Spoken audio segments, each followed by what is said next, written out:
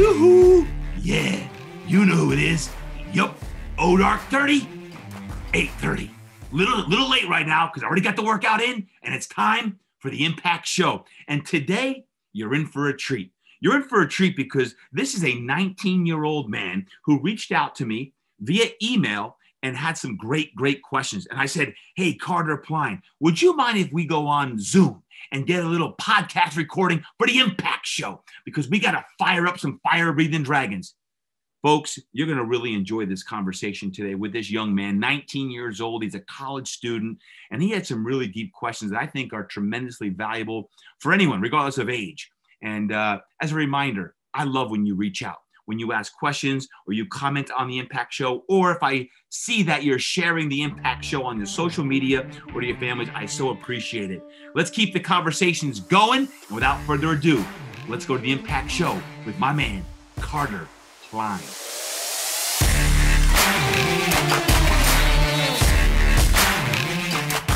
So, what does a day in your life look like? Man, depends what day it is.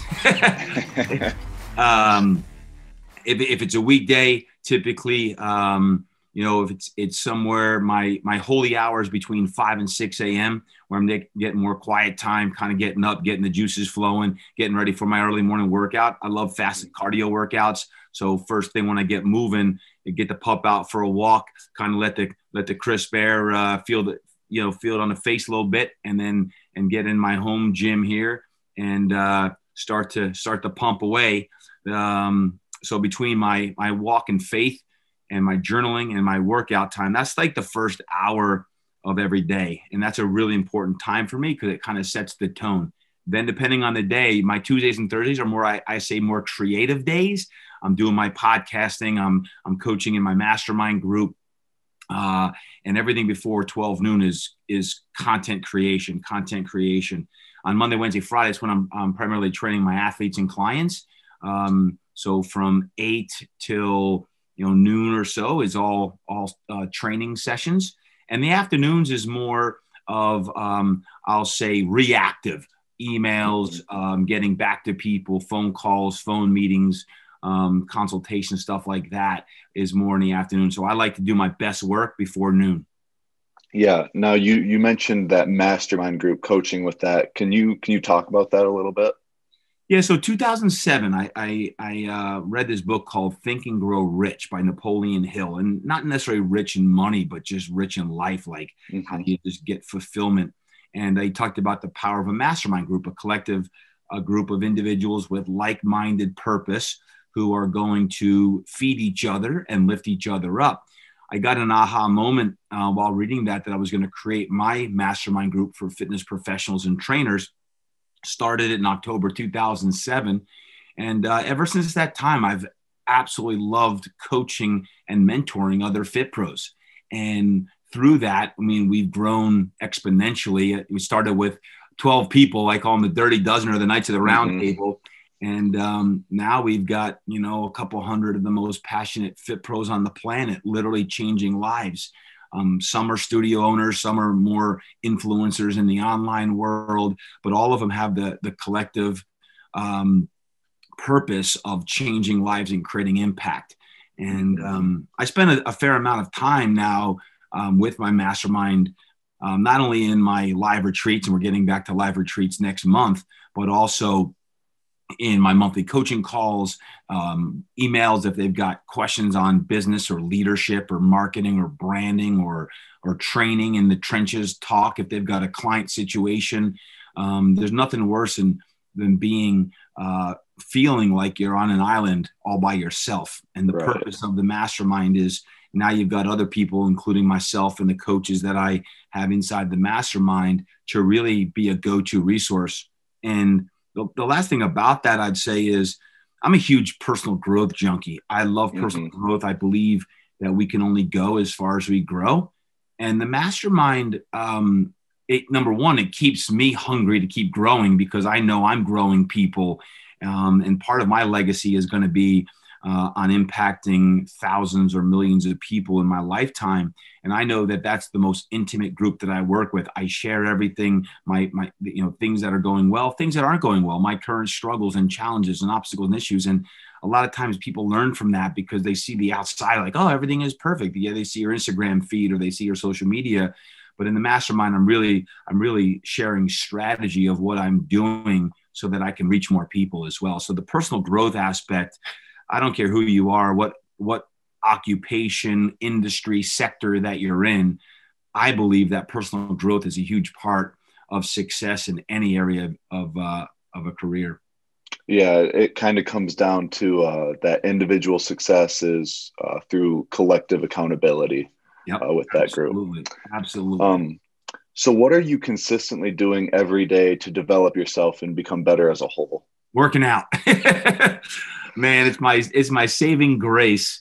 Working out. Uh, listen, I, am not like, hey, you know, I have a four day split routine and it's lower body two times a week and upper body twice a week. I'm moving every day of the week. When I say mm-hmm. moving, I'm not always killing myself.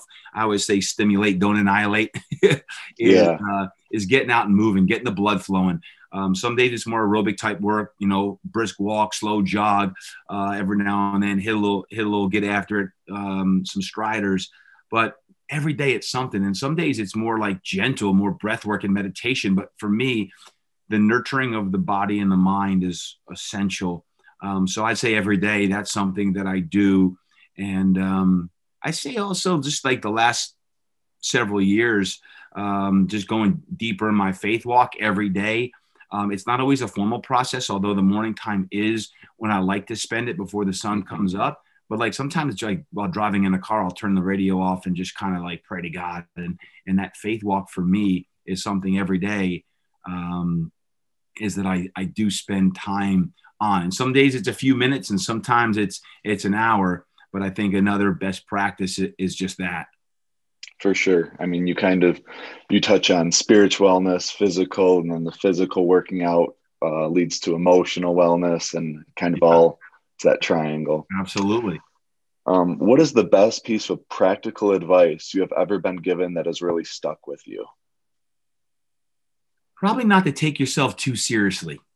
Mm-hmm. Sometimes I take myself too serious, right? I think yeah. we all do it to a certain extent. And whenever I remind myself is stop taking yourself too serious, uh, play more, loosen up, relax, enjoy. Um, I think you know that that that common fold is sometimes we put so much pressure on ourselves that we have to be perfect. And that's and perfection is unattainable. So i think it's great to strive for excellence. I think it's great to, to strive for being your absolute best realizing that that is going to come with some flaws and some failures and some mistakes and that's okay. Um, so i think that's some of the best advice i've ever received is is uh, loosen up play, relax. Don't don't take yourself so serious that everything has to be perfect because I think perfectionism actually robs you of actually taking action on things that you probably want to do or need to do, but the fear of failing because you're not going to be perfect holds you back. And whether that's as an as an entrepreneur, as a leader, as an athlete, it's that it's that mindset of not trying to be perfect. Hey, I coach here at the local high school. It drives me nuts when I hear other, you know, coaches uh, get on kids for for making mistakes. Now I understand that kids are going to make mistakes. Depends on the preparation. But like I'm always like go full speed all out and if you make a mistake, that's okay, learn from it. I'd rather people go 100% all out making mistakes than playing tentative trying to be perfect because that's a surefire way you're going to get beat. In sport or in in business or in life, you got to play all out and you can't be afraid to take chances. You can't be afraid uh, to take a, a, stab going deep with the football every now and then. Um, mm-hmm. so to me, it's, it's, it's loosen up, play, relax, have some fun, and uh, remember why we're here. Yeah, I know our coach, he's always preaching to us, you know, we have a no fear, no embarrassment mentality. Hmm. Uh, you're going to go through it and, you know, you're going to mess up, you're going to make mistakes, but as long as you're going hard, you're giving everything you have. That's what matters. What sport do you play, Carter? I play basketball. Basketball. All right. What position yeah. are you? What position?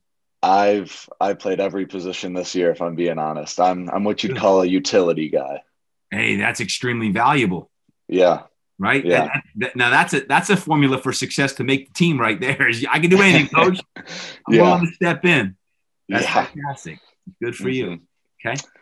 Uh, so then, if you could give a piece of advice to me and my generation, what would that be? work. work your butt off. And when you think you're working hard, there's another level. Um, and I, I wouldn't just say just for your generation because people are always like, you know, um, they, they don't know how to work. I, I, let me tell you what, there's a lot of teens and, and folks in their 20s who I, I know do work really, really hard. But I think um, the concept of instant gratification is a very dangerous thing because sometimes people think because they work for a long weekend or for one season, they deserve success. Um, I was just talking recently to Mike Chandler. Mike is a fighter in the UFC, and Mike said it only took me 20 years to be an overnight success. Um, I think that's very apropos. Um, I think about sometimes even my journey. Um, I think about early on that I spent my entire 20s learning. I didn't make money, very much money at all in my 20s. I was in school. I was learning from mentors and gurus in the healing world and training, and I was I was really just getting as much knowledge as possible.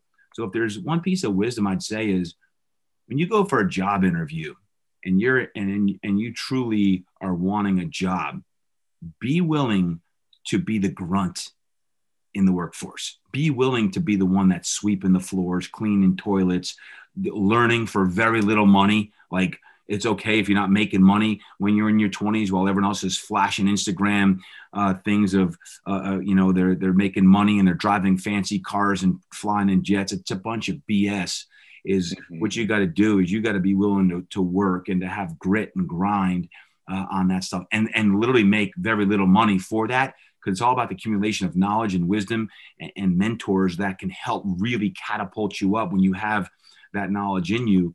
Um, so I think that's an important thing. And, and, one more piece I'd say probably is, you know, we talk about uh, the social media game um, and whether it be on TikTok, uh, Snapchat, Instagram, I think it's very dangerous. Sometimes social media is, uh, we've got this feeling that we're never good enough because you're comparing yourself. Uh, you know, you're you're comparing your insides to everyone else's outside, and when you look at everyone else's outside, it's always blemish free. It's beautiful, and it's it's man, look what she has, look what he has, look what the money, and look at the you know the fame and the fortune, whatever it is. And inside, there's a lot of empty souls and I'd say is not to compare yourself uh, to someone else's Instagram, Snapchat, TikTok, whatever it may be. Uh, if you're going to use social media, social media is an opportunity to potentially leverage your skill sets and what are you putting out into the world. Just be careful what comes in. That's why it's called your feed. Your feed, mm-hmm. what's in your feed, it's feeding you good or bad. So your feed is what you're looking at every day. And that's affecting your mindset. That's affecting the way you think, the quality of your thoughts. And it could be toxicity, could be toxic thoughts, or it could be good things. So you may have to edit even your accounts and see that because and it's not just for for you know your generation. It really is for anybody because right. you can be talking to a 40 50 60 year old man or woman. It's no different. They're like man i should be more successful at this point in my life. And you're just feeding yourself something that's a lie. Like listen where you are at today is perfect. Let's let's think about what your dream is what your vision is what your mission is and let's set a game plan to get there in six months 12 months three years five years 10 years. Where do you want to be? And set that game plan mm-hmm. it comes back to that comparison is the thief of joy my my dad told me that and it, it's stuck with me ever since you're absolutely right. And, and, and I think it's human nature to constantly look. I mean, you could be an athlete and you're like, man, I wish I had, you know, his talent. I wish I was six foot four, um, or I wish I, I ran a four, five, 40. And, and meanwhile, you've got your own set of gifts that make you special and unique. And I'd say is capitalize on the gifts that you have, uh, capitalize on your strengths and yeah of course that's going to be natural again but not to not to live in a space where you're constantly wishing you had other people's gifts and skill sets and not your own but yeah good right. advice from your father yeah um so i know you mentioned uh, your faith earlier but is mm-hmm. that is that one thing that really grounds you and helps keep things in perspective for you yeah no doubt i mean i was i was born and raised in faith i was born uh, uh, Catholic. I'm the youngest of eight kids, and I always went to church all the way through high school and then through college. And it really was at college though where I developed my faith walk. I mean, like truly not just going to church, which is religion, but developing a relationship with God and Jesus and strengthening my faith. I mean, that was really strengthened through a massive setback when I was in college. Carter, how old are you? I am 19 years old. You're 19. So when I was 20, uh, just a year older than you, um, my best friend, my cheerleader, my mentor, my father passed away of a heart attack.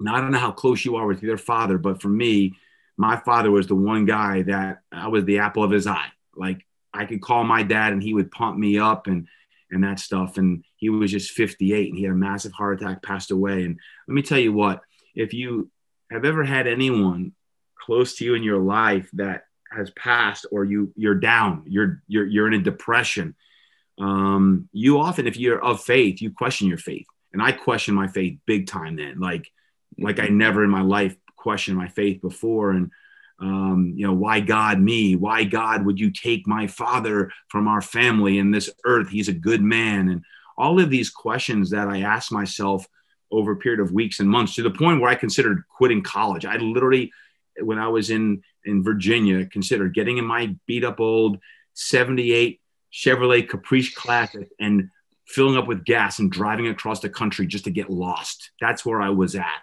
And I remember I was competing for a football quarterback starting job. And I remember having tears under my helmet during practice. I'm thinking, why am I doing this? How can I compete? I, I can't even get my father off my mind. Well, it was through that period of time in my life where I really went deeper on my own faith. And it actually strengthened my faith, reminding myself and those around me and, and the priest and the, and the, and the uh, spiritual mentors in my life at the time, reminding me that this time on earth is short lived and there's no time that's guaranteed. And I learned a valuable lesson at age 20 that I, I to this day don't take for granted that time is the most precious asset that we have. And we only have so much time and it's finite. And whether it be 20 years, 58 years, uh, 75 years is uh, it's it's all about that time that we have. So for me, um, that was something that was very very impactful um, for me. And you know, in a, in a roundabout way to come all the way full circle because you asked about faith. Mm-hmm. I realize now through seeing a lot of things in life. I've seen my best friend die. I've seen my father pass away. I've seen people close in my life battling sickness and disease and many different things. As I realize this, it really is about your faith walk, and that is a grounding thing. It's it, it gives me hope knowing that there is an eternal heaven that someday I'll spend time in. Um, so for me, regardless of the success or the failures here uh, on earth, I believe that uh, if you're driven by purpose and you align your your decisions with God, then ultimately you have a, a life that is guaranteed beyond your time on earth. Right. I uh, I also grew up in a Catholic household, and obviously I attended a Christian school. And uh, earlier this year, there was there was a prayer I read one of these devotionals I was doing. It said, uh, "Search my heart, break my heart, and then send me on my way, uh, mm. Lord." And I think uh, that kind of describes, you know, what you went through. You know, God searched you uh, for you know what was on your heart, what you needed. Then He broke you down, and then He sent you and brought uh, helped grow you back up. Yeah, and here's the thing, Carter. No one wants to be broken. Right. None of us like to be broken. We, we don't no one wants to be broken. You know i think about that that, that poem from footprints right? Like god why did you desert me when i need you the most? And he's like i didn't. I was carrying you. Those are my footprints. Uh, no one likes to be broken. Um, but when you are broken and there are many people who are broken when you are broken you need a rock to stand on. You need something mm-hmm. to give you hope. You need something to give you strength or energy and frankly, the flesh is weak. Like you're like, oh, TD, you fire me up all the time. Fantastic. But guess what? You're going to need a lot more than me uh, to get you through your, your deepest trials and tribulations. And I'm glad that there's a lot of people that may think that or watch that and get that juice that we talk about. But to me, there's something that's way more sustainable than human spirit and energy, and that's faith in God. And um, when you talk about being broken, I'm always talking about being, you know, from broken, from broken to blessed is the only way to go from broken to blessed is to, to go deeper in faith. And that's hard to do. It's really hard because none of us, including me, like to be broken. But when I look back, when I look back, why is it always when you look back about your biggest growth times, it was when you were broken. like mm-hmm. it was it was the death of my father. Five years later, I blew out my back when I was 25 playing pro football. My back gets broken. That led me down a, a, path to heal my own pain, open my own gym, and for the last 21 years, change people's lives in my sanctuary at Fitness Quest 10. Uh, I look back and all of the setbacks and adversities, things that people don't see, that put a, a fire in me to write books or create the podcast or you know do the things I do now. Typically, it comes from when you're being broken yeah, yeah. It you know, uh, grapes are pressed for wine, coal is crushed for diamonds. You know, you I'm sure you've heard all of those before. Look at you at 19 years old spitting out poems, baby. Why beyond your years, Carter? I, I, do my best to learn from the best. That's good. That's good. Uh, so what do you want people to say at your funeral? You know, what what is the legacy you're really hoping to leave? Man, we talking deep, huh? We talking deep. Impact Man, guy, Todd Durkin, and I want the freaking between my name, Todd freaking Durkin, Impact Man, changed my life. He's the most positive person I've ever met, um, and he instilled a, a, a dream in me um, that uh, that that uh, changed my life. For me, it's all about being a great father, being a great husband, being a great coach, and transforming lives. That's what I do, yeah. um, and um, you know, really, really special. Yeah. And you know, so what what is next for you? I mean, obviously you've accomplished a lot. You've been incredibly successful. Uh, what's something you're really directing your attention towards uh, as you go through these next portions of your life? Well, I think the big thing is one thing that COVID taught us all is to stay in the now, right? To stay in the here and the now. And I do have big dreams and visions for the next decade. I just turned 50. Um, and one of the things that I think is important to realize is that um, the next decade for me is going to be about really my best work and and putting my signature down on impacting people because my mission and my purpose is to impact 10 million people in my lifetime. Well, I'm not going to wait. Uh, I want to make sure that that happens in the next few years. So I want to stay uber focused on the now being a great dad. I'm coaching my kids in in football. Um, and I go to my daughter's soccer games, which I absolutely love. She's 13 and love seeing her run, and that, it brings me so much joy. So, regardless of the accolades that I may have in my career, it really is as a parent, as a father, um, is that something I'm going to really continue to spend time in as a husband of uh, my wife that we just celebrated uh, 20 years is making sure that that commitment um, to my family and to her is paramount because I want to be one of those guys that celebrates 50 years of marriage. Um, I think that is the most mo- most remarkable thing when I see a couple that does yeah. that. And then just from a career wise is to continue doing what I love doing on what God has anointed me to do, and that's putting my word out there to be an eternal optimist, positive motivator, someone who inspires people to be their best, and whether it be that through podcasting um, writing more books, um, um, live events. I cannot wait to get back to uh, doing more live events, coaching in the mastermind group again. Um, these are the things that I'm work. I'm walking congruent with my purpose when I'm doing doing that type of work. Yeah. So those were, you know, really most of the questions I had. You know, I I got you for about three, four more minutes. So I'd love to pick your brain with a little lightning round of Ooh, questions. Lightning round. Yeah, the first thing that comes to your head. Uh, I got three questions here. All right, lightning round. Let's go. All right. If you owned a billboard, what is one quote you would put on it? Get your mind right. It'd be get your mind right. Get your mind right. That's what it would be. I'd be like pointing my pointing the finger to the head. No doubt about it. That was simple. Uh, if you could sit down for dinner with anyone from any time period, where would you eat and who would it be with? My father, Peter Luger Steakhouse in in New York. uh, what is the coolest gift you've ever gotten? Ooh, just got it yesterday. Just check this out. One of my clients is an athlete named Tim Lucas, and Tim is an awesome young man. He is he's an aspiring motivational uh, speaker. After his football career on, he I, he literally just gave me this yesterday.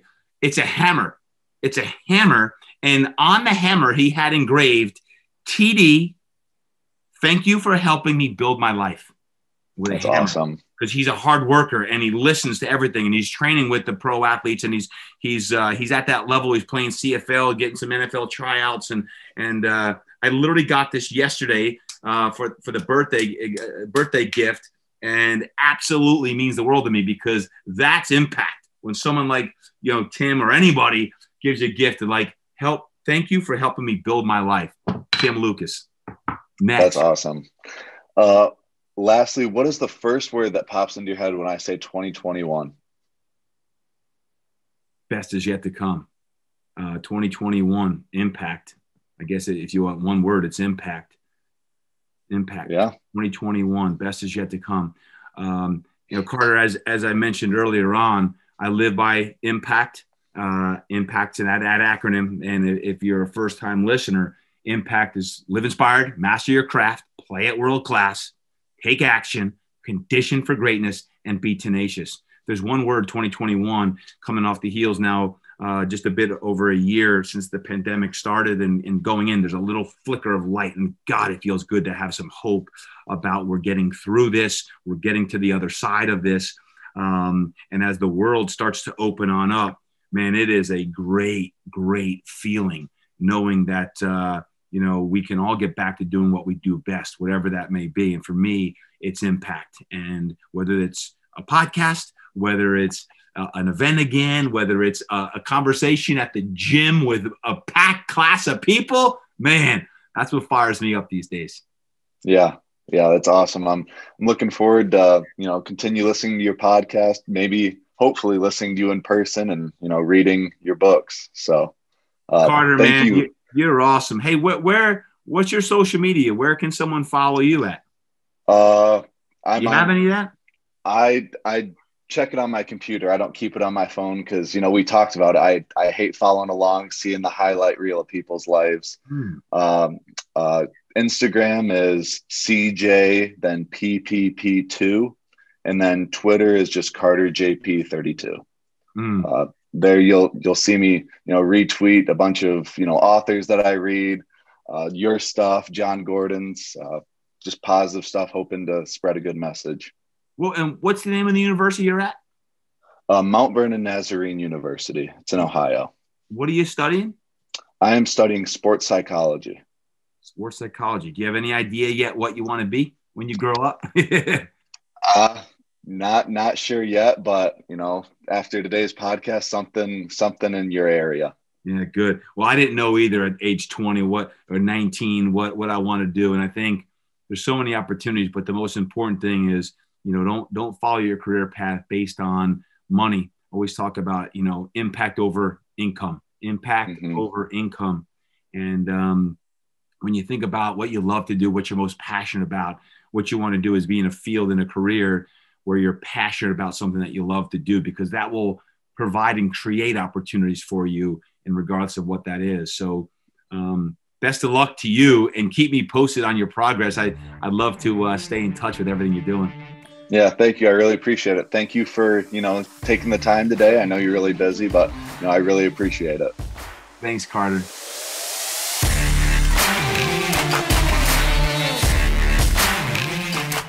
Folks, I hope you enjoyed that conversation with Carter Pline today. You know how that all came about? It was because that young man reached out to me. He reached out to me via an email and, and said that he had a few questions he'd like to ask. And when I got back to him, I said, absolutely would love to, if, if you don't mind if I record that for the podcast. And um, I was so impressed with his maturity and the questions he asked that I'm sharing it with you today. And he was, uh, he loved the fact that he could do that. So um, do me a favor, if you've got questions like that and whether you're a whether you're a 19 year old student or you're a 59 year old student uh, feel free to continue to pump those questions to me because i love to to highlight and feature people that have questions or wisdom or insight that uh, we could have a conversation and share with the world because i believe that conversation right there was uh, certainly one that was valuable and if so please share it share it. One of the best things you can do to help spread the word of the Impact Show is to share it within your community. And whether that be an email or on your social media or uh, just texting a link to your friends, do me a favor. Please share the Impact Show, and it will uh, help us in our mission to change the world. Have an awesome day. And until next time, remember train hard, eat right, live inspired, and go create impact.